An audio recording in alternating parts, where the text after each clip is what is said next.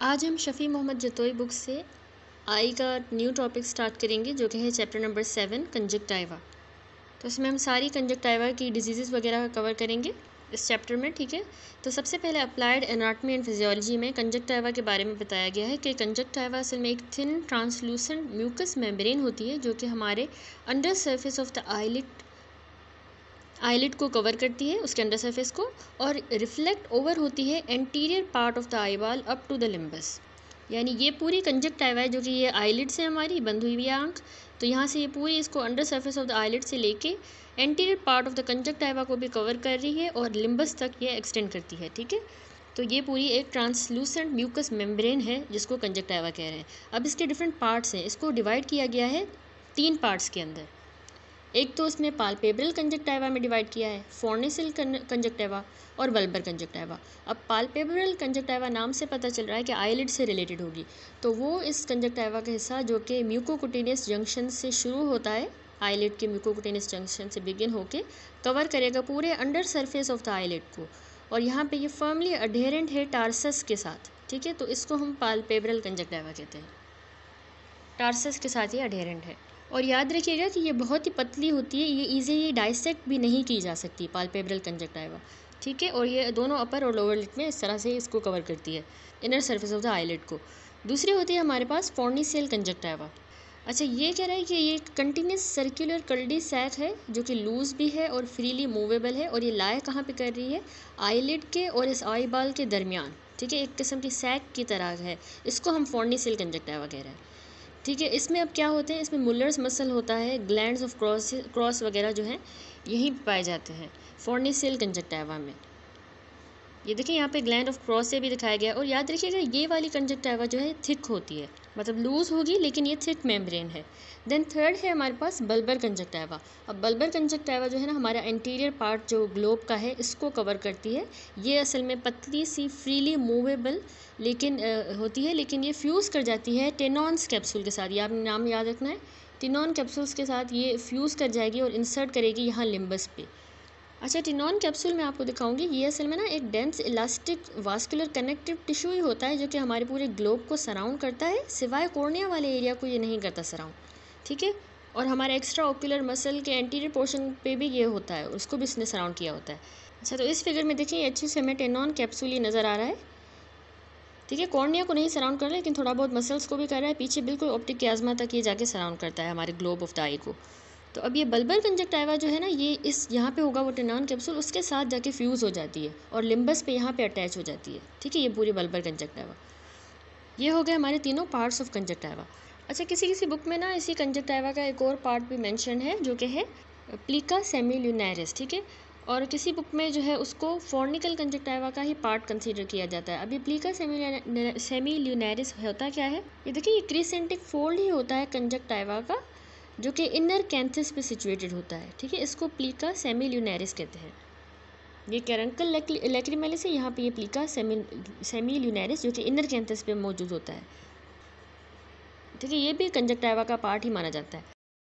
अच्छा तो ये जो मैंने आपको एक पार्ट बताया ना पालपेबल कंजक्टाइवा जो पहला पार्ट होता है कंजक्टाइवा का, इसको ना सब डिवाइड भी किया गया है। हमने कहा कि ये आईलिड को जो है सराउंड करता है, ठीक है पालपेबल कंजक्टाइवा तो उसको हमने तीन में सब डिवाइड किया है। एक तो मार्जिनल ऑर्बिटल और टार्सल में। मार्जिनल कंजक्टाइवा जो है, ये आईलिड के मार्जिन से जो है, यहाँ से एक्सटेंड करके पीछे जाएगी। सल्कस सब टार्सिलिस के सल्कस इस ग्रूव तक, ठीक है सल्कस सब टार्सिलिस तक, जो कि असल में एक जोन होता है स्किन और कंजक्टाइवा प्रॉपर के दरमियान का। ठीक है, यहाँ पे होगा। तो यहाँ पे इतनी सी बस होगी हमारे पास मार्जिनल कंजक्टाइवा उसके बाद आती है हमारे पास टार्सल कंजक्टाइवा तो वो भी ट्रिन ट्रांसपेरेंट हाईली वास्कुलर होती है और ना पूरी टार्सल प्लेट हमारी जो अपर लिड में ना, उसके साथ अडेरेंट होगी। लोअर लिड में वो सिर्फ़ half of the width of the tarsus के साथ अडेरेंट होगी। उसमें से हमें ना टार्सल ग्लैंड्स भी ना इसमें से नज़र आ रहे होंगे येलो स्ट्रिक्स की तरह। तो ये हो गई टार्सल कंजक्टाइवा अब जो ऑर्बिटल पार्ट होता है ना पालपेब्रल कंजक्टाइवा का, वो इस टार्सल प्लेट के और इस फोर्निक्स के दरमियान यहाँ पे थोड़ा बहुत लाया करेगा। ठीक हो गया? उसके बाद तो हमने वही पढ़ी, बल्बर कंजक्टाइवा होती है, जो कि पतली सी और ट्रांसपेरेंट है और हमारे मतलब इजीली मूव भी हो सकती है। और हमने कहा कि वो टेनॉन कैप्सूल के साथ सेपरेट हुई हुई है स्क्लेरा से। ठीक है? ये बल्बर हमने पढ़ ली। अब इसी बल्बर कंजक्टाइवा हमने कहा कि लिम्बस पे आगे मतलब वहाँ तक एक्सटेंड करती है तो लिम्बस पे जो उसका रीजन होगा ना, उसको हम लिम्बल कंजक्टाइवा कहते हैं, ठीक है? जहाँ पे हमने कहा कि टेनॉन कैप्सूल वगैरह आके फ्यूज़ होते हैं। और इस लिम्बस की ही जगह पे हमारी जो एपिथिलियम है ना, इस कंजक्टाइवा की, ये कॉर्निया के साथ जो है वो कंटिन्यूस हो जाती है। ठीक हो गया। बाकी एक बार फिर फोर्निकल कंजक्टाइवा को भी देख लें।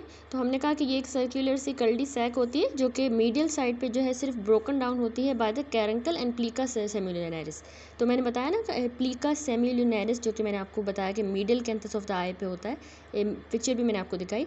तो वो इसी का ही पार्ट होता है कंजक्टाइवल फोर्निक्स का, जो कि उसमें ब्रोकन डाउन होता है, ठीक है? अब इसका ये कर क्या रही है? ये जो कंजक्टाइवल फोर्निक्स है ना, ये इस बल्बर कंजक्टाइवा को, इस पालपेब्रल कंजक्टाइवा के साथ ऐसे जोड़ रही है आपस में। बीच में यही है ना? और एक और बात याद रखिएगा कि इस कंजक्टाइवल फोर्निक्स को हमने डिवाइड किया है सुपीरियर इन्फीरियर मीडियल और लेटरल फोर्निक्स के अंदर। ठीक है? Superior medial inferior lateral fornices तो ये सारे अच्छी तरह से हो गए पार्ट्स ऑफ़ कंजक्टाइवा इस पिक्चर को देखेंगे तो और ज़्यादा अच्छा क्लियर हो जाएगा। ये हमारी आईलिड है, ठीक है? यहाँ पे ये इतने से ये मार्जिनल कंजक्टाइवा जो कि स्किन और म्यूकस मेम्ब्रेन के जंक्शन पे है। ये अपर टार्सल वाली कंजक्टाइवा ये नीचे वाली टार्सल लोअर टार्सल कंजक्टाइवा फिर यहाँ पे ऑर्बिटल भी आता है जो यहाँ पे नहीं शोन जो कि इन दोनों के दरमियान होता है टार्सल और फोनिक्स के दरमियान ऑर्बिटल कंजक्टाइवा ठीक हो गया? अब ये सुपीरियर फोनिक्स ये इन्फीरियर फोनिक्स वाला, यहाँ पे बल्बर होगी पूरी, लेकिन हमने कहा बल्बर जो है यहाँ पे लिम्बस पे आके लिम्बल कंजक्टाइवा बन जाती है। और यहाँ पे हमारी वो कॉर्निया होगी, उसकी एपिथेलियम होगी, जो कि यहाँ पे नहीं दिखाई गई। ठीक हो गया? अच्छा तो उसके बाद अब हम आ जाते हैं एपिथेलियम ऑफ़ द कंजक्टाइवा पे। यानी स्ट्रक्चर ऑफ़ कंजक्टाइवा में सबसे पहले फॉलोइंग लेयर्स होती है। पहले होती है एपिथेलियम। अब एपिथेलियम हमारी कंजक्टाइवा की याद रखिएगा कि नॉन कैरेटिनाइज्ड स्क्वामस एपिथेलियम होती है। टू टू फाइव लेयर ये थिक होती है और इसमें याद रखिएगा गॉबलेट सेल्स होते हैं। अब यहाँ पे एक और इंपॉर्टेंट बात बात ये है कि हमने कंजक्टाइवा के डिफरेंट पार्ट्स पढ़े तो हर डिफरेंट पार्ट में जो एपिथेलियल सेल्स पाए जाते हैं ना, वो डिफरेंट होंगे। फॉर एग्जांपल जैसे जो मैंने आपको मार्जिनल कंजक्टाइवा बताई, यहाँ पे फाइव लेयर जितनी ये होती है, और स्ट्रेटिफाइड स्क्वामस एपिथेलियम होगी। फिर टार्सल कंजक्टाइवा की बात करें तो ये टू लेयर्ड एपिथेलियम होती है। यहाँ पे सुपरफिशियल लेयर होगी सिलिंड्रिकल सेल्स की, और डीप लेयर होगी फ्लैट सेल्स की। ठीक है? उसके अलावा फॉर्निक्स और जो बल्बर कंजक्टाइवा है ये तीन लेयर की एपिथेलियम होती है। इसमें भी सुपरफिशियल लेयर सिलिंड्रिकल सेल्स की मिडल लेयर पोलीहेड्रल सेल्स की और डीप लेयर क्यूबोइडल सेल्स की होगी। और अगेन फिर ये लिम्बल कंजक्टाइवा होता है। तो यहाँ पे पाँच से छः लेयर जितनी स्ट्रेटिफाइड स्क्वामस एपिथेलियम ही होगी। यहाँ पे लिम्बल स्टेम सेल्स प्रेजेंट होते हैं इसके बेजल लेयर में, ठीक है? तो ये जस्ट इन्फॉर्मेशन के लिए है एक्स्ट्रा इन्फॉर्मेशन समझने के लिए। ये ज़रूरी नहीं है कि आप इसको याद करें। इतना डीप जाने की ज़रूरत नहीं है। बस थोड़ा सा आपको आइडिया हो कि किस तरह ये इसका स्ट्रक्चर होता है। बाकी याद आप बस ये शफ़ी जतोई से ही जितना इसमें मैंशन है बुक में, वही करें, उतना ही इनफ है, ठीक है? एक्स्ट्रा याद करना है तो और अच्छी बात है, लेकिन इतना ज़रूरी नहीं है। शफ़ी के भी पॉइंट्स मैं साथ साथ बताती जा रही हूँ और एक्स्ट्रा पॉइंट्स भी नॉलेज के लिए मैं आप लोगों को एक्सप्लेन कर रही हूँ, ठीक है? तो अब ये जो एपिथिलियम होती है ना, इसमें याद रखिएगा कि इसमें गॉबलेट सेल्स होते हैं, जो कि यूनिसेल्युलर म्यूकस ग्लैंड्स होते हैं असल में, और हमारी पूरी जो है पार्ट्स ऑफ़ द कंजक्टाइवा में कंजक्टाइवा में पाए जाते हैं। और एक और बात याद रखिएगा, जो लिम्बस का रीजन होता है, यहाँ पे एपिथेलियम जो है ना, ये कंटिन्यूस हो जाएगी with the epithelium of cornea के साथ। इसके अलावा टाइप ऑफ़ कोलेजन तो आप रट लें कि इसमें हमारे पास एपिथेलियल बेसमेंट मेम्ब्रेन में टाइप फोर कोलेजन फिब्रल्स होते हैं। दैट्स इट यह स्ट्रक्चर ऑफ़ कंजक्टाइवा में एपिथेलियम हो गया। दूसरा होता है स्ट्रोमा अब स्ट्रोमा किन चीज़ों का बना हुआ है? एडिनोइड लेयर होती है, फाइब्रस लेयर होती है, ठीक है? अब एडिनोइड लेयर को हम लिम्फोइड लेयर भी कहते हैं। अच्छा ये जो स्ट्रोमा होता है ना, असल में ये फाइन कनेक्टिव टिश्यू रेटिक्यूलम का बना होता है। इसकी, इस स्ट्रोमा की ये एडिनोइड लेयर, ठीक है? फाइन कनेक्टिव टिश्यू रेटिक्यूलम की, और इसमें मेशेस होते हैं, जिनके अंदर लिम्फोसाइट्स लाए कर रहे होते हैं मैक्रोफेजेस और मास्ट सेल्स अब ज़्यादातर ये जो है, ये वाली लेयर, एडिनोइड लेयर ये फोर्नेसिस में मोस्ट डेवलप्ड होती है। तो इसी एक और बात ये कि बर्थ के टाइम पे ये नहीं मौजूद होती, ये तीन से चार मंथ ऑफ़ द लाइफ के बाद डेवलप होती है बच्चे में। तो यही वजह है कि कंजक्टाइवल इन्फ्लामेशन इन्फेंट के अंदर ना फॉलिकुलर रिएक्शन प्रोड्यूस नहीं करता, क्योंकि यहाँ पे वो अभी तक डेवलप ही नहीं हुई होती। ठीक है? दूसरा स्ट्रोमा में होता है फाइब्रस लेयर अच्छा ये जो फाइब्रस लेयर होती है इसमें कोलेजिनस और इलास्टिक फाइबर्स का मैशवर्क होता है। अब ये उस एडिनोइड लेयर से ना मोटी होगी, ये फाइबरस लेयर ठीक है? और कहाँ पे ज़्यादा थिकर होगी? हर जगह थिकर होगी, सिवाय टार्सल कंजक्टाइवा वाले रीजन में ये थिक नहीं होगी। यहाँ पे ये बहुत पतली होती है, ठीक है? अब ये फाइबरस लेयर जो है ना, इसमें वेसल्स होती हैं नर्व्स होती हैं कंजक्टाइवा की। मुलर्स मसल भी इसमें होता है और एक्सेसरी हमारे लेक्रिमल ग्लैंड्स भी इसी में होते हैं फाइबरस लेयर में। और यही फाइबरस लेयर जो है ना बल्बर कंजक्टाइवा वाले रीजन में, उस अंडरलाइंग टेनॉन कैप्सूल के साथ जो है ब्लेंड कर जाती है, जो मैंने आपको एक्सप्लेन किया था। दैट्स इट अब स्ट्रक्चर ऑफ़ कंजक्टाइवा में हमें ग्लैंड्स भी पता होने चाहिए कंजक्टाइवा में कौन से होते हैं। तो दो तरह के ग्लैंड्स होते हैं म्यूसिन सिक्रीटरी ग्लैंड्स होते हैं, दूसरे एक्सेसरी ग्लैंड्स फिगर में भी आप साथ साथ देखते जाएँ। तो पहले अगर एक्सेसरी लेक्रिमल ग्लैंड्स की बात करें तो इसमें हमारे पास होते हैं ग्लैंड्स ऑफ़ क्रॉसे और ग्लैंड्स ऑफ़ वॉल्फरिंग ठीक है, ये एक्सेसरी हैं। ये ग्लैंड्स ऑफ़ क्रॉसे जो है ना, ये हमारे subconjunctival connective tissue of the fornices में मौजूद होता है और अपर लिड में ये 42 होते हैं और लोअर में तकरीबन छः से आठ होते हैं, ठीक है ग्लैंड्स ऑफ़ क्रॉसे जबकि ग्लैंड्स ऑफ़ वॉल्फरिंग की बात करें तो ये हमारे upper border of the superior tarsus पे मौजूद होता है और along the lower border of inferior tarsus और ये तकरीबन जो है वॉल्फरिंग ग्लैंड कितने होंगे? दो या पाँच होंगे। दो से पाँच। ठीक हो गया? ये हो गए ग्लैंड ऑफ़ वॉल्फरिंग ये दोनों हमने कर लिए एक्सेसरी लैक्रिमल ग्लैंड्स अब बात करें अगर म्यूकस ग्लैंड्स की या म्यूसिन सिक्रीटरी ग्लैंड्स की तो उसमें हमारे पास goblet cells crypts of Henle glands of Manz आ जाते हैं। गॉबलेट सेल्स तो याद रखिएगा कि एपीथीलियम में ही होते हैं। क्रिप्स ऑफ़ हेनले जो है, हमारी टार्सल कंजक्टाइवा में मौजूद होंगे। और ये ग्लैंड्स ऑफ़ मैंस जो हैं ग्रीन कलर के, ये हमारी लिम्बल कंजक्टाइवा में पाए जाते हैं। ठीक है, यहाँ पे वैसे ये पाए जाएँगे लिम्बल एरिया में। अब ये म्यूसिन वाले ग्लैंड्स जो है म्यूसिन सिक्रीट करेंगे तो वो हमारी कॉर्निया और कंजक्टाइवा की वेटिंग में जो है, वो इसेंशियल होता है। अच्छा एक और इंटरेस्टिंग मैं आपको बात बताऊँ प्लिका सेमिल्यूनरिस इसके बारे में। ये असल में हमारा एक पिंकिश सा क्रिसेंटिक देखें फोल्ड होता है कंजक्टाइवा का, जो मैंने आपको बता चुकी हूँ मिडिल कैंथस पे होता है। तो इसका ये इसका जो लेटरल फ्री बॉर्डर है वो कनकेव है, ठीक है? असल में ये माना जाता है कि ये वेस्टिजल स्ट्रक्चर्स हैं ह्यूमन बींग्स में और ये असल में एक मेम्ब्रेन है जो कि लोअर या हम कह सकते हैं थर्ड आईलिड है इन लोअर एनिमल्स में, ठीक है? और कैरंकल क्या है? ये एक छोटा सा ओवॉइड या पिंकिश सा मास होता है जो कि इनर कैंथस पे सिचुएटेड होता है और ये बिल्कुल स्प्लीका सेमिलिनारिस के मीडियली है। अब ये असल में इन रियलिटी ये पीस ऑफ़ मॉडिफाइड स्किन ही है, ताकि ये हमारी स्ट्रेटिफाइड स्कॉमस एपिथीलियम को कवर करे और इसमें स्वेट ग्लैंड्स होते हैं। सिबेशियस ग्लैंड्स भी होते हैं और इसमें हेयर फॉलिकल्स भी होते हैं। अब हम चलते हैं ब्लड सप्लाई पे हमारे कंजक्टाइवा के। तो आर्टरीज़ की सबसे पहले बात करें तो आर्टरीज जो हमारी कंजक्टाइवा को ब्लड सप्लाई करती है ना, वो तीन जगहों से आती हैं, तीन सोर्सेज से। एक तो पेरीफेरल आर्टीरियल आर्केड से आएँगी, ठीक है? दूसरा ये एंटीरियर सीलियरी आर्टरीज से आती हैं। और तीसरा जो है, एक और है marginal arcade of the eyelid से। अब सबसे पहले पालपेब्रल कंजक्टाइवा और फोर्नेसिस की अगर ब्लड सप्लाई की बात करें इजी वर्डिंग में अगर हम करें तो हमारी पालपेब्रल कंजक्टाइवा और फोर्नेसिस को कौन सप्लाई करेगा? पेरिफेरल और मार्जिनल आर्टीरियल जो आर्केड है आईलेट का, उनकी ब्रांचेस सप्लाई करेंगी। जबकि हमारी बल्बल कंजक्टाइवा को कौन सप्लाई करेगा? इसमें दो सेट ऑफ़ वेसल्स होती हैं। एक पोस्टीरियर कंजक्टाइवल आर्टरीज दूसरी एंटीरियर हमारी कंजक्टाइवल आर्टरीज अब जो पोस्टीरियर कंजक्टाइवल आर्टरीज हैं, ये असल में जो आईलिड का आर्टीरियल आर्किड है ना, उसी की ही ब्रांचेस होती हैं। जबकि एंटीरियर कंजक्टाइवल आर्टरीज जो है, वो एंटीरियर सीलरी आर्टरीज की ब्रांचेस होती हैं। अब इस पोस्टीरियर कंजक्टाइवल आर्टरीज की जो टर्मिनल ब्रांचेस होंगी, वो इसी एंटीरियर कंजक्टाइवल आर्टरीज के साथ जाके आखिर में अनास्टोमोस करेंगी और पेरी कॉर्नियल प्लेक्सस बना देंगी। ठीक है, ये बहुत ही ईजी सी इसकी ब्लड सप्लाई है। अब आप सोच रहे होंगे कि ये पोस्टीरियर कंजक्टाइवल आर्टरी जो है, वो आर्टीरियल आर्किड ऑफ़ आईलेट से आई है। तो ये आर्टीरियल आर्किड ऑफ़ आईलेट किस चीज़ का बना होता है? ये असल में मीडियल और लेटरल ब्रांचेस ही होती हैं ऑप्थाल्मिक की और लेक्रिमल आर्टरी की। ठीक है, उनका बना होता है। और हम जैसा हमने कहा कि anterior conjunctival artery anterior ciliary arteries की ब्रांचेस होती हैं तो ये एंटीरियर सीलरी असल में ना मस्कुलर ब्रांचेस से ही अराइज करता है। वीनस ड्रेनेज भी पता होना चाहिए कि कंजक्टाइवा जाके हमारे venous plexus of the eyelid में ड्रेन करेगा और कुछ जो है वो कॉर्निया के अराउंड एंटीरियर सीलरी वेंस में जाके ड्रेन करेगा। ठीक है? लिम्फेटिक भी बहुत इजी है सेम ही है तकरीबन कि जो लेटरल पार्ट होता है हमारा लेटरल साइड वो जाके प्री ऑरिकुलर लिम्फ नोड्स में और जो मीडियल साइड होती है या मीडियल पार्ट होता है कंजक्टाइवा का तो वो सब मैंडिबुलर लिम्फ नोड्स में जाके ड्रेन करेगा।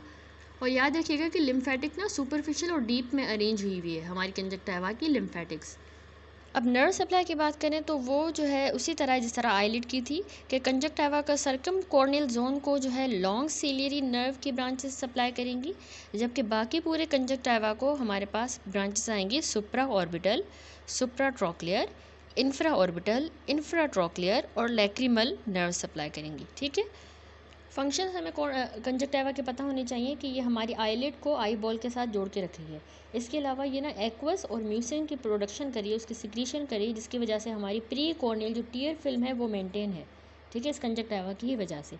इम्यून सर्वेलेंस में भी इसका रोल है कि ये माइक्रोब्स की एंट्री को जो है ना प्रिवेंट करती है हमारी कंजक्टाइवा कैसे इसको प्रिवेंट करती है? एक तो ये ना वॉशिंग अवे कर रही होती है टीयर्स की, हमारी कंजक्टाइवा तो बैक्टीरिया की ग्रोथ नहीं होगी। इसके अलावा हमने कहा कि इसमें लाइजोजाइम होता है आईजीए होता है आईजीजी तो ये बैक्टीरियोस्टेटिक होते हैं। और ना लो टेम्परेचर है, क्यों? क्योंकि इवेपोरेशन हो रही है टीयर्स की तो वहाँ पे लो टेम्परेचर है तो ग्रोथ नहीं हो पाएगी बैक्टीरियाज की। इसके अलावा एक्सपोजर की वजह से भी उसमें लो टेम्परेचर है और मॉडरेट ब्लड सप्लाई है, तभी उसका लो टेम्परेचर होता है तो वहाँ पे ग्रोथ नहीं हो पाएगी बैक्टीरिया की इनहिबिट हो जाएगी। इसके अलावा फ़ंक्शन होता है हमारे कंजक्टाइवा का कि ये न्यूट्रिशन दे रही होती है पेरीफेरल कॉर्निया को। दैट्स इट यहाँ पे हमने पूरा स्ट्रक्चर कंजक्टाइवा का कंप्लीट कर लिया।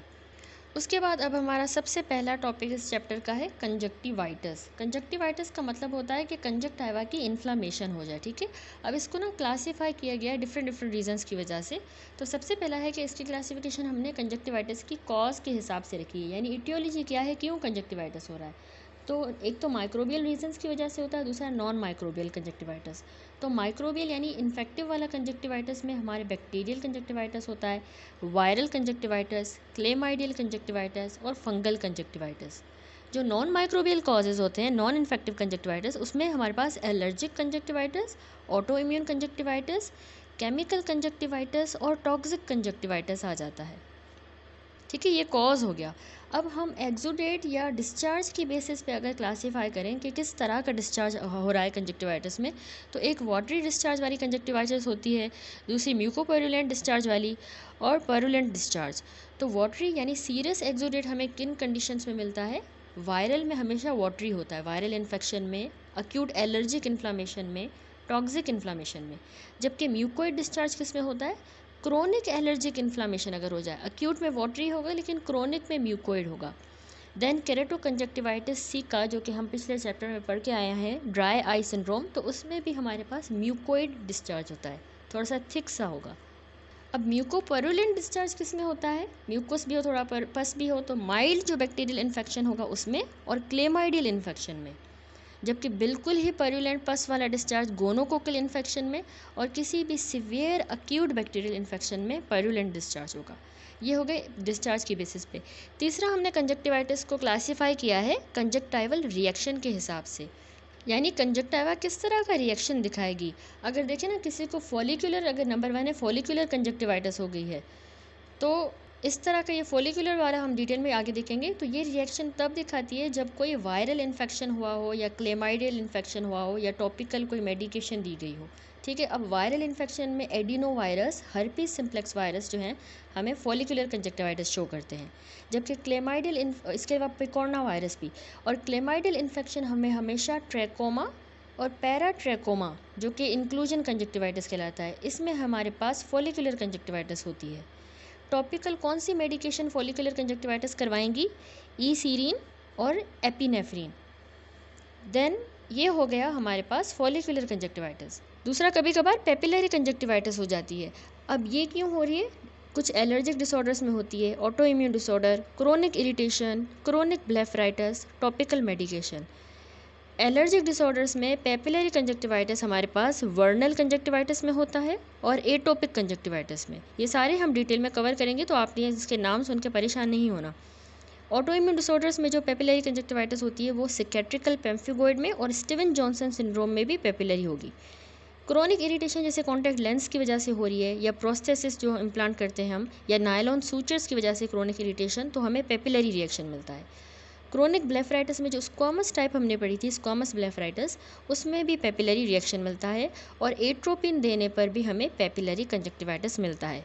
तो इस तरह से भी हमने कंजक्टिवाइटिस को क्लासीफाई किया है। अब हम आ जाते हैं क्लिनिकल फीचर्स कौन से होंगे कंजक्टाइवल इन्फ्लामेशन में। तो सबसे पहले सिम्टम्स देखें जो हमें मिलते हैं। सॉरी, जो मतलब पेशेंट को मतलब महसूस होते हैं, वो सिम्टम्स होते हैं, साइंस जो हम नोट करते हैं, ठीक है? अब पेशेंट को क्या सिम्टम्स होंगे? कि उसको नॉन स्पेसिफिक सिम्टम्स में उसको लैक्रीमेशन होगी। ज़ाहिर सी बात है कंजक्टाइवा इन्फ्लेम हो गया है। कंजक्टिवाइटिस हुआ है तो लैक्रीमेशन ज़रूर होगी। ग्रीटीनेस यानी कि उसको लगेगा कि आँख में कोई पत्थर वगैरह है रफ टेक्सचर उसको महसूस होगा।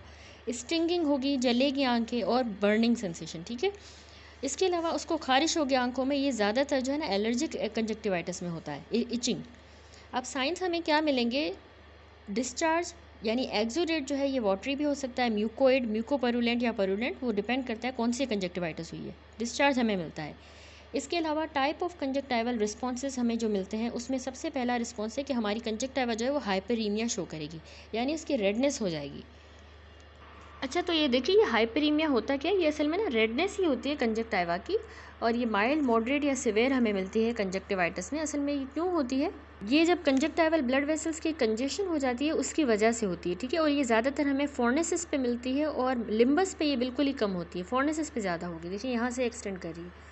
उसके अलावा साइन हमें मिलता है कंजक्टिवाइटिस में सब कंजक्टाइवल हेमरेज तो ये आपने याद रखना है कि हमें जो है वायरल कंजक्टिवाइटिस में ज़्यादातर हो सकता है ये सब कंजक्टाइवल हेमरेज ये देखिए फिगर ये होता है कीमोसिस ये अगला साइन है जो कि हमें मिलता है. ये बहुत इंपॉर्टेंट है कि क्यों होता है, इसको हम कंजक्टाइवल इडीमा भी कहते हैं. तो असल में ये अक्यूट जो एलर्जिक या फिर सिवियर जो इन्फेक्टिव कंजक्टिवाइटिस होता है ना, उसमें ये हमें मिलता है. असल में इसमें कंजक्टाइवा की स्वेलिंग हो जाती है क्योंकि जो कैपिलरीज हैं, उनमें से एक्जोडेट बाहर निकला है. तभी, और ये हमें फोर्नेसिस में ही ज़्यादा मिलती है और बल्बर कंजक्टाइवा पे भी देखें, ये ज़्यादा मिलती है क्योंकि ये जगहें ज़्यादा लैक्स होती हैं इस वजह से. अच्छा उसके बाद अगला साइन होता है पेपिली ठीक है, या पेपिला तो ये असल में हमारे पास टिपिकली एलर्जिक जो कंजक्टिवाइटिस होता है ना, उसमें मिलता है ये रेडिश सी एलिवेटेड देखें छोटी छोटी सी लेशंस हैं जो कि हाइपर प्लास्टिक कंजक्टाइवा की ही बनी हुई है। हाइपर प्लास्टिक कंजक्टाइवल एपिथीलियम की बनी है और इनके अंदर फाइब्रोवास्कुलर अंदर कोर होगी, सब एपिथ्यूलर स्ट्रोमल इन्फिल्ट्रेशन होगी इनमें इन्फ्लामेटरी सेल्स की, ठीक है, बीच में एक कोर है फाइब्रोवास्कुलर इसके अलावा वहाँ पे सब एपिथेलियल स्ट्रोमल इन्फ्लामेटरी सेल्स भी हैं, ठीक है, उनकी भी इन्फिल्ट्रेशन होगी। और ये असल में असल में एपिथीलियम की ही हाइपर प्लास्टिक कंजक्टाइवल एपिथीलियम की छोटी छोटी सी लेजन्स हैं। हम ऐसा भी कह सकते हैं कि ये जो पेपिला हैं, ये असल में वास्कुलर स्ट्रक्चर ही है जो कि इन्फ्लामेटरी सेल्स की वजह से इन्वेड हो गया है। वहाँ पे उन्होंने अटैक किया है, ठीक है, असल में ये वास्कुलर स्ट्रक्चर्स ही हैं। अब ये देखें, अगला साइन होता है फॉलिकल अब फॉलिकल टिपिकली हमें याद रखिएगा कि वायरल कंजक्टिवाइटिस में मिलते हैं। ये असल में वाइटिश सी स्लाइटली एलिवेटेड लेशंस हैं, जो कि सब एपिथेलियल कलेक्शन ऑफ़ लिम्फोसाइट्स की बनी होती हैं। ठीक है? तो ये लिम्फोइड हाइपरप्लेजिया ही होता है जर्मिनल सेंटर के अंदर। मल्टीपल होते हैं डिस्क्रीट छोटी छोटी सी ये एलिवेटेड राउंड होती हैं ज़ीरो पॉइंट फाइव से फाइव मिलीमीटर साइज़ की। इनको फॉलिकल्स कहते हैं। तो ये भी हमें कंजक्टिवाइटिस में साइन मिलता है। ज़्यादातर वायरल में ये मिलता है। अच्छा उसके अलावा साइन होता है कि हमें ना मेम्ब्रेन्स मिलती है कंजक्टाइवा में। टिपिकली ये डिप्थेरिया की जो इन्फेक्शन है डिप्थेरिक कंजक्टिवाइटिस उसमें मिलता है। अब याद रखिएगा कि दो तरह की मेम्ब्रेन्स होती हैं, एक ट्रू मेम्ब्रेन दूसरी सूडो मेम्ब्रेन तो जो सूडो मेम्ब्रेन होती है ना, ये असल में कोएगुलम ही होता है on the surface of the epithelium और ये हम ईजीली पील भी कर सकते हैं। ठीक है, पीछे जो अगर हम इसको पील करें तो पीछे एपिथीलियम बिल्कुल इंटैक्ट होगी, सही होगी। तो किस तरह के इन्फेक्शन में हमें सूडो मेम्ब्रेन मिलती है? न्यूमोकोकल इन्फेक्शन में streptococcal gonococcal adenovirus auto immune conjunctivitis ठीक है? जबकि अगर हम बात करें ट्रू मेम्ब्रेन की तो ये जो ट्रू मेम्ब्रेन होती है, ये भी कोइगुलम ही होता है, जो कि पूरे इंटायर एपिथीलियम को जो है इन्वॉल्व करेगा। वो हमने कहा सरफेस ऑफ़ द एपिथीलियम को, ये सिर्फ़ जो है इन्वॉल्व ये वाली पूरे एपिथीलियम को इन्वॉल्व करती है। अब इसको जब हम रिमूव करेंगे ना तो पीछे एपिथीलियम जो है, वो टीयर हो जाएगी, फट जाएगी और ब्लीडिंग होगी। तो याद रखिएगा कि ट्रू मेम्ब्रेन हमें डिप्थेरिया में मिलता है बीटा हीमोलाइटिक स्ट्रेप्टोकोकल कंजक्टिवाइटिस में। इसके अलावा हमें कंजक्टिवाइटिस का साइन मिलता है लिम्फ एडिनोपैथी ये अभी हमने सारे जो है ना कंजक्टाइवल रिस्पॉन्सेस देख लिए। डिस्चार्ज पहला साइन था, फिर ये सारे कंजक्टाइवल रिस्पॉन्सेस हमने पढ़े। अभी है लिम्फ एडेनोपैथी तो ये असल में प्री ओरिकुलर लिम्फ नोड्स की इन्लार्जमेंट हो जाती है। ये ज़्यादातर वायरल और गोनोकोकल कंजक्टिवाइटिस में होता है। उसके अलावा लास्ट साइन रह गया है, जो कि है कॉर्नियल इन्वॉल्वमेंट भी हमारी हो सकती है। कॉर्निया की कंजक्टिवाइटिस में। जैसे कि पंक्टेड कैराटाइटिस हो सकता है या अल्सरेशन हो सकती है उसकी तो ये ज़्यादातर कैरेटो कंजक्टिवाइटिस में होता है, जो ड्राई आई सिंड्रोम है। एक और साइन रह गया जो कि सिस्टेमिक सिम्टम्स भी हमें मिल सकते हैं कंजक्टिवाइटिस में, यानी उसी पेशेंट को आँखों की कंजक्टिवाइटिस के साथ साथ अपर रेस्पायरेटरी ट्रैक के सिम्टम्स भी हो सकते हैं। उसको बुखार हो सकता है मलेज जो कि वायरल कंजक्टिवाइटिस में हमें मिलता है। दैट्स इट अच्छा अगला टॉपिक यानी बैक्टीरियल कंजक्टिवाइटिस को स्टार्ट करने से पहले मैं आप लोगों की थोड़ी सी इन्फॉर्मेशन में इजाफा करना चाहूँगी कि हम कंजक्टिवाइटिस को फिर डायग्नोज कैसे करेंगे? तो ये जो है, हम बैक्टीरियोलॉजिकल एग्जामिनेशन से भी कर सकते हैं कि कौन सा बैक्टीरिया मौजूद है या इंक्लूजन बॉडीज़ ठीक है? इसके अलावा हम हिस्टोलॉजिकल एग्जामिनेशन भी करते हैं। यानी जो एपीथीलियम है ना, उसकी हम स्क्रैपिंग्स वगैरह लेंगे या फिर सिक्रीशन लेंगे। प्लेटिनम लूप से जिस तरह हम लेते हैं और जिम्सा स्टेन या ग्राम स्टेन करके हम उसकी हिस्टोलॉजिकल एग्जामिनेशन करते हैं। इसके अलावा हम डायग्नोसिस जो है किसी पेशेंट को अगर कंजक्टिवाइटिस है तो हम उसका कंजक्टाइवल कल्चर भी करते हैं। यानी कि वो हम लिड मार्जिन से लेंगे और कंजक्टाइवल सैक से एक स्टेराइल कॉटन टिप एप्लीकेटर के साथ। ठीक है? अब डायग्नोसिस इस तरह होती है। और ट्रीट कैसे करते हैं? वैसे नॉर्मली हम कंजक्टिवाइटिस को तो हम एंटीबायोटिक्स ड्रॉप देते हैं और एंटीबायोटिक ऑइंटमेंट्स देते हैं। तो ड्रॉप्स जो है वो किस तरह ट्रीट करने के लिए दिए जाते हैं? एक ड्रॉप याद रखिएगा नॉरफ्लॉक्सासिन तो नॉरफ्लॉक्सासिन जो होता है ना, ये क्विनोलॉन एंटीबायोटिक है, उसकी ब्रॉड स्पेक्ट्रम एक्टिविटी है और वो उसकी टॉक्सिसिटी भी बहुत कम होती है तो हम नॉरफ्लॉक्सासिन देते हैं। ठीक है, इसके अलावा हम जो है सिप्रोफ्लॉक्सासिन भी देते हैं तो इसकी भी जो है सिमिलर प्रॉपर्टीज़ है नॉरफ्लॉक्सासिन की तरह। बाकी भी हम एंटीबायोटिक्स दे सकते हैं chloramphenicol gentamicin tobramycin neomycin polymyxin ठीक है? तो ये ना चार से छः बार दिन में लगाने होते हैं ड्रॉप्स कंजक्टिवाइटिस में। अब ये हो गए ड्रॉप्स इसके अलावा हम ना कंजक्टिवाइटिस की ट्रीटमेंट में ऑइंटमेंट्स भी देते हैं पेशेंट को. तो ये ज़्यादा कंसनट्रेशन देती हैं ऑइंटमेंट्स होती हैं ना, उनमें कंसनट्रेशन ज़्यादा होती है एंटीबायोटिक की ज़्यादा पीरियड ऑफ़ टाइम के लिए, बनस्बत ड्रॉप्स के. और एक बात याद रखिएगा कि जो ऑइंटमेंट्स होती हैं, यानी मरहम या मलम जिसको कहते हैं तो वो असल में ब्लरिंग ऑफ़ विजन करवा रहा होता है. तो इसलिए उस ज़्यादातर हम पेशेंट को रात के वक्त कहते हैं कि आप ऑइंटमेंट लगाएँ, सोने, सोते वक्त, ठीक है? तो उसमें हमारे पास क्लोरोमाइसिटिन जेंटामिसिन टेट्रासाइक्लिन नियोमाइसिन प्लो पोलीमिक्सिन सिप्रोफ्लॉक्सिसिन ठीक है? तो ये डिफरेंट डिफरेंट ऑइंटमेंट्स पे आ जाती हैं। तो इनके बारे में आप लोगों को पता होना चाहिए क्योंकि आप डॉक्टर बन रहे हैं तो आप लोगों को दवाई देना आना चाहिए। इस टेबल में देखिए, ये सूडो मेम्ब्रेन का और ट्रू मेम्ब्रेन का डिफरेंस दिखाया गया है, ठीक है? तो ये भी आप लोग अच्छी तरह से देख लीजिएगा एग्ज़ाम पॉइंट ऑफ़ व्यू से इंपॉर्टेंट है। अब स्टार्ट करते हैं बैक्टीरियल कंजक्टिवाइटिस तो बहुत ही जो common type of bacterial conjunctivitis हैं, वो on the basis of exudate formation अगर हम देखें तो तीन तरह के होते हैं। एक म्यूकोपेरुलेंट कंजक्टिवाइटिस पेरुलेंट कंजक्टिवाइटिस और मेम्ब्रेनस कंजक्टिवाइटिस तो पहले हम बैक्टीरियल में जो म्यूकोपेरुलेंट कंजक्टिवाइटिस है, इसको डिटेल में देखेंगे, जिसको पिंक आई कहते हैं। ये बहुत ही कॉमन हुआ था पास्ट डेज़ में रिसेंटली तो इसकी बात करें तो असल में ये अक्यूट इन्फ्लामेशन ही होती है कंजक्टाइवा की, जिसमें म्यूकोपेरुलेंट डिस्चार्ज होता है और आई रेड हो जाती है। रेडनेस ऑफ़ आई इसी वजह से इसको पिंक आई कह रहे हैं। ये फिगर भी देखिए, इसमें अक्यूट म्यूकोपेरुलेंट कंजक्टिवाइटिस दिखाया गया है, जिसमें इसको म्यूकोपेरुलेंट डिस्चार्ज हो रहा है पेशेंट को। अब इसका कॉज पता होना चाहिए, बहुत इंपॉर्टेंट है कि ये किस वजह से हो रहा है। तो असल में जब ये डायरेक्ट कांटेक्ट हो किसी भी इन्फेक्टेड सिक्रीशन के साथ तो ये पेशेंट को हो सकता है। इसके अलावा कोई भी बैक्टीरिया ये कॉज करवा सकता है कंजक्टिवाइटिस लेकिन जो कॉमन ऑर्गेनिज्म है, उनमें हमारे पास staphylococcus aureus Streptococcus new Streptococcus pneumonia और हीमोफिलिस इन्फ्लुएंजा ठीक है? ये तीन ज़्यादा कॉमन है। इसके अलावा बाकी लेस कॉमन ऑर्गेनिज्म में मोरक्सेला लेकोनेटा प्रोटीस स्पीशीज़ और क्लेप्सिलिया भी ये कॉज करवाते हैं पिंक आई ठीक है? अब इसमें पेशेंट को जो है वो क्लिनिकल जब फीचर्स हम देखेंगे तो इसमें अक्यूट बैक्टीरियल कंजक्टिवाइटिस जो है ये बहुत ही कॉमन है और ये सेल्फ लिमिटिंग कंडीशन है। आजकल ये बहुत कॉमन है खुद ही सही हो जाता है। यानी ट्रीटमेंट के बगैर भी सेल्फ लिमिटिंग है। तो इसमें पेशेंट को सिम्टम्स क्या होते हैं कि अक्यूट ऑनसेट उसको ना, अचानक से उसको रेडनेस हो जाती है। आँखों में ऐसा लगता है कि कोई चीज़ चली गई है फॉरन बॉडी सेंसेशन आँखें लाल, जल रही होती हैं आँखें और उनमें से डिस्चार्ज हो रहा होता है, ठीक है? अब इसमें साइंस यानी कि हमें क्या मिलेंगे साइंस तो माइल्ड फॉर्म में आपने याद रखना है कि रेडनेस जो है वो फॉर्निक्स पे ज़्यादा होगी और palpebral parts of the conjunctiva पे। ठीक है? जो आईलेट को अगर हम उल्टा करके देखें तो वो वाला पार्ट जो है, वो पाल्पेबल होता है ना, और फॉनिक्स जो मैंने आपको समझाया पीछे एनाटमी में तो वहाँ पे रेडनेस ज़्यादा मिलती है। सिवियर ये माइल्ड फॉर्म में, लेकिन सिवियर फॉर्म में पूरी की पूरी कंजक्टाइवा हाइपरीमिक हो जाएगी, जिसको हम पिंक आई कहते हैं। डिस्चार्ज जो है, मैंने आपको पिक्चर भी दिखाई कि म्यूकोपेरेलेंट होता है, और म्यूकस के फ्लेक्स हमें फॉनिक्स पे मिल सकते हैं। इसमें आईलेट की जो मार्जिनस होती है ना, वो हमें म्यूकोपेरुलेंट डिस्चार्ज शो करती हैं। जो मैंने पिक्चर भी दिखाई। इसके अलावा आईलेशेस जो है वो मेटेड होंगी डिस्चार्ज की वजह से चिप चिपकती होंगी। और पेपिलरी रिएक्शन भी इसमें हमें माइल्ड मिलता है, जो मैंने पेपिलास भी आपको दिखाया वो माइल्ड रिएक्शन मिलेगा। विजुअल एक्टिविटी इन वैसे नॉर्मल होती है पेशेंट में। अभी म्यूकस के फ्लेक्स पास कर रहे होंगे कॉर्निया में तो उसकी वजह से पेशेंट को कलर्ड हेलोस भी नज़र आ सकते हैं। ठीक है? तो ये कलर्ड हेलोज जो है सिम्टम है। एक और सिम्टम जो रह गया वो ये है कि जब पेशेंट उठेगा सुबह के टाइम पे तो उसकी आईलेट्स जो है, आप आपस में चिपकी हुई होंगी और वो उसको मतलब खोलने में भी मुश्किल हो रही होगी। क्योंकि पूरी रात जो जो एक्जोडेट बना है, उसने आँखों को बिल्कुल चिपका दिया है। ग्लू हो गई है ग्लूड इस वजह से उसकी आँखें जो है वो ग्लूड होंगी। साइंस भी देख लिए तो ज़्यादातर मोस्ट इंपॉर्टेंट पिंक आई जो कि कंजक्टाइवा जो है, बिल्कुल फायरी रेड हो जाएगी कंजेशन वगैरह की वजह से। और एक और पॉइंट कि इसमें कीमोसिस और हमें सब कंजक्टाइवल हेमरेज भी मिल सकती है। ये अक्यूट म्यूकोपेरुलेंट कंजक्टिवाइटिस आपको याद हो कि एपिडेमिक भी रहा, रह चुका है और बायोलिटरली ज़्यादातर होता है। और ये ना मक्खियों वगैरह से फ्लाइज फिंगर्स और फॉर्माइट से